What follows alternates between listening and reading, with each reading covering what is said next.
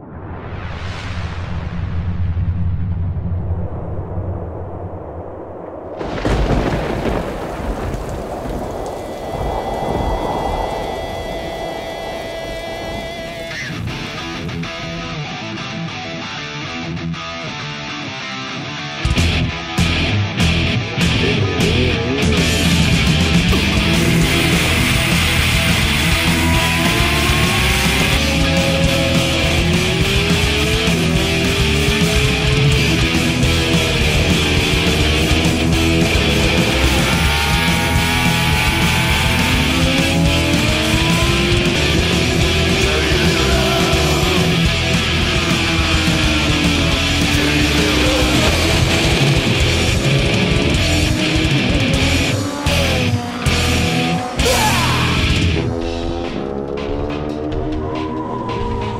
Anfang Juni die komplette Redaktion des Sportmotorradmagazins PS ihre Zelte im Fahrerlager des Hockenheimrings aufschlägt, kann dies nur eins bedeuten.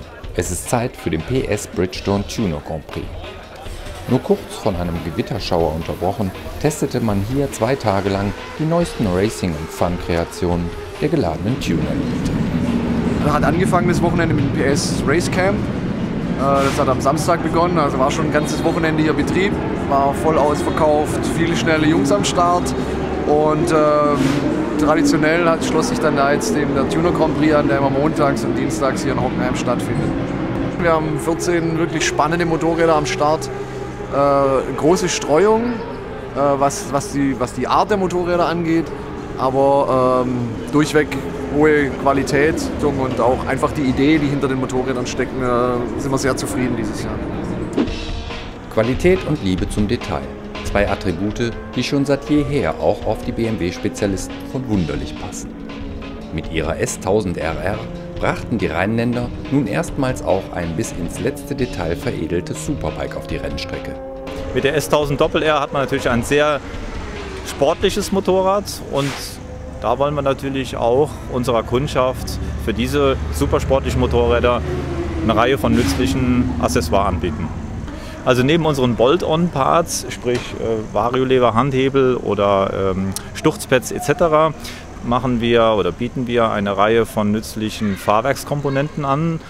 Also am Motor haben wir die Mechanik im Serienzustand gelassen, haben uns aber an die Elektronik gegeben. Zwar haben wir das Motormanagement mit einem sogenannten Calibration Tool verändert. Das heißt, ich kann die Elektronik, das Motormanagement auf meine Bedingungen abstimmen. Wir haben festgestellt, ab einer gewissen Leistung ist es eben keine Frage mehr der Leistung, die Schnelligkeit, sondern äh, eher der Traktion und der Fahrbarkeit. Und da legen wir auch ganz großes Augenmerk drauf, dass unsere Motorräder sehr leicht und spielerisch fahrbar sind und können da wieder durch unsere Erfahrungen im Motorsport profitieren. Auf das Thema Fahrbarkeit hatten sich in diesem Jahr auch die Jungs von DSB konzentriert.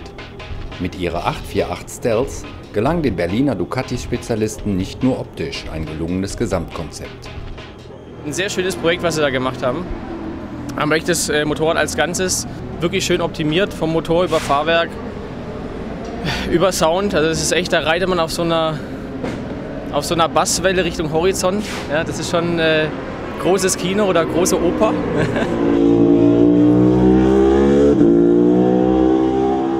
Nee, also auch gerade die natürlichen Schwächen wie die Anti-Hopplung-Kupplung, die original nicht drin ist. Äh, jetzt arbeitet einfach das Heck so unauffällig, das schöne Heck, äh, dass man es äh, leider vergisst, was wirklich beim Fahren schön ist. Also man kann sich auf seine Linie konzentrieren. Und es ist einfach ein richtiges Fahrmotorrad geworden. Also man kann sich auf seine Ideallinie konzentrieren und man kann an sich selber arbeiten. Also es macht wirklich Spaß damit zu fahren. Es ist ein richtig nettes Spielzeug geworden. Ich glaube generell das Konzept, äh, das ist gerade ziemlich so am, äh, man sagt das so am Puls der Zeit weil die, die großen Dinger mit 200 PS, äh, das kann der Normalbürger fährt es kaum mehr, der normale Hobbyfahrer. Und das hier ist ein Fahrzeug, da kann man tatsächlich die Leistung noch nutzen. Und es war jetzt auch für mich das erste Mal so eine neue Erfahrung, äh, mit der Traktionskontrolle in so einem Regelbereich zu fahren. Das traut man sich bei so einem Motorrad. Und das machst du bei einer 1198 äh, wahrscheinlich eher nicht so schnell.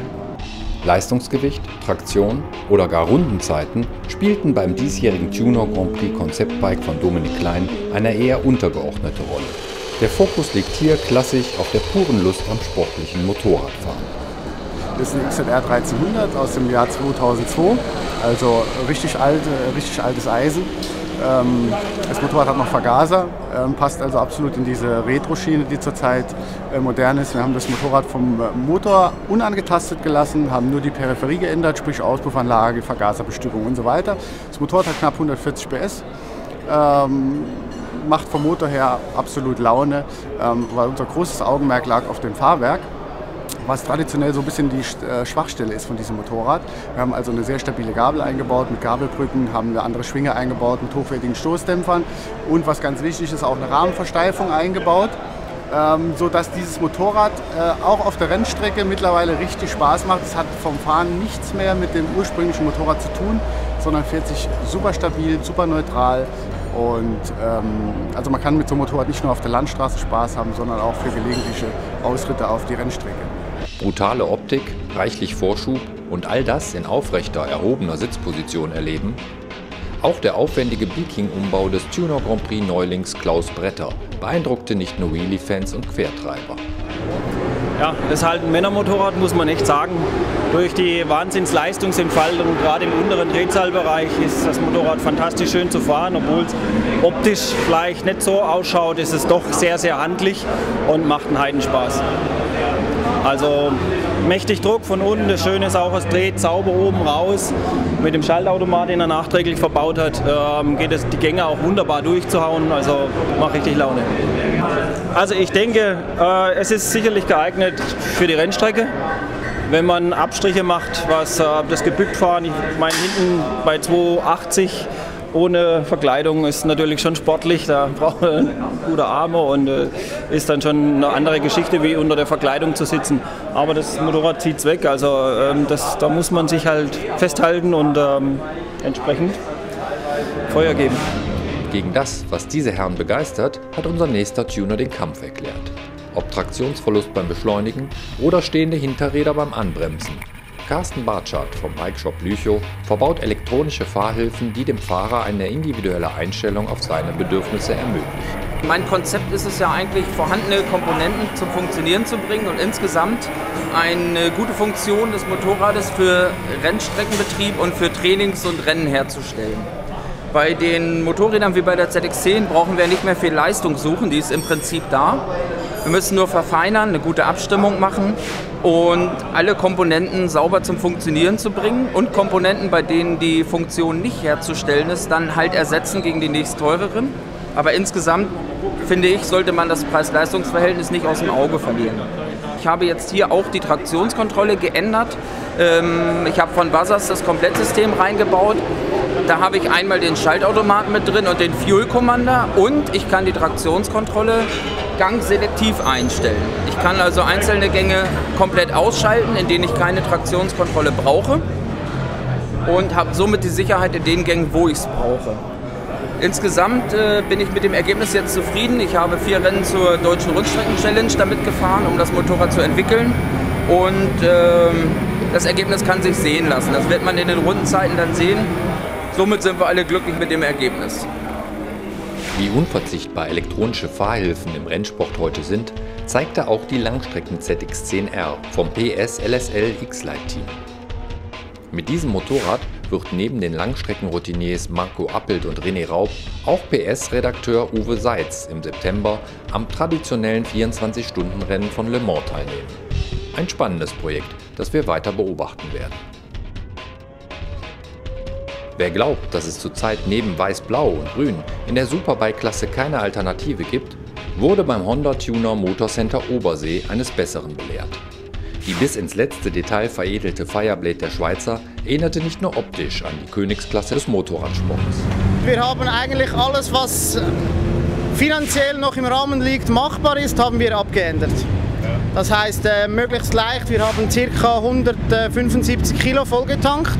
Wir haben äh, einen Aluminiumtank verwendet. Original haben wir entfernt. Äh, original gehen 17 Liter rein. Wir können 24 äh, tanken. Das ist ein Langstreckentank. Dann haben wir eine äh, GP2 Aero Auspuffanlage, das sieht man auch nicht so oft. Die Räder die sind von Eskil Suter aus der Moto 2. Das ist äh, circa eine halbe Stunde von wo wir herkommen, ist er zu Hause. Äh, wir haben einen engen Draht zu ihm und können da ab und zu mal Teile austauschen und beziehen von ihm. Ja, und dann so ein bisschen HRC-Komponenten mit äh, Kit-Kabelbaum, Steuergerät. Und ansonsten eigentlich motorenseitig haben wir ziemlich viel selbst gemacht. Wenn sich einer, der unter anderem schon in der MotoGP für Shini Nakano gearbeitet hat, Kawasakis neue ZX-10R vornimmt, war es zu erwarten, dass selbst erfahrene PS-Redakteure wie Robert Glück ins Schwärmen geraten werden. Hatte gerade mal wieder das traumhafte Vergnügen, äh, eine vom Sepp Buchner, der Firma Bikerbox aufgebaute Kawasaki ZX-10 aktuell des aktuellsten Baujahres zu fahren. Und ähm, wie immer war das ein unglaubliches Erlebnis. Unglaublich deswegen, weil dieses Motorrad mal wieder eine Linkage, eine Verbindung herstellt zwischen dem Fahrer und sich selber und auch dem Asphalt, die ich so noch nie erlebt habe. Warum? Weil mit 16H Zollrädern ausgestattet, die eine unglaubliche, einen unglaublichen Grip äh, aufbauen, die ein sehr präzises Einlenkverhalten haben und äh, ein Fahrwerk dabei ist, das alles, was unter einem passiert, transparent und glasklar berichtet. Das heißt, ich kann furchtlos meine persönlich bislang schnellste Runde ever in Hockenheim fahren und habe gerade eben auf dem 2D GPS oder Data Recording schon gesehen, dass da zwei Stellen dabei waren, wo nochmal eine halbe Sekunde drin ist.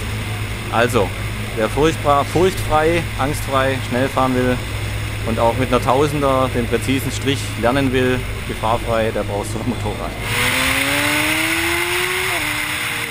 eingebettet in das Renntraining des PS Race Camps sowie in die mit 44 Startern spektakulären Rennen des Triumph Speed Triple Cup zeigte der PS Bridgestone Tuner Grand Prix auch 2011 wieder, was rund um das sportlich orientierte Motorradfahren machbar ist.